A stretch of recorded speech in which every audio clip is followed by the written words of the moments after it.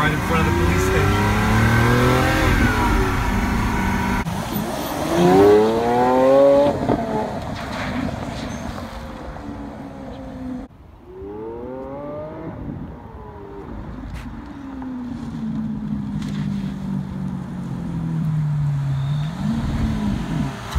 Brrrr, brrrr, brrrr.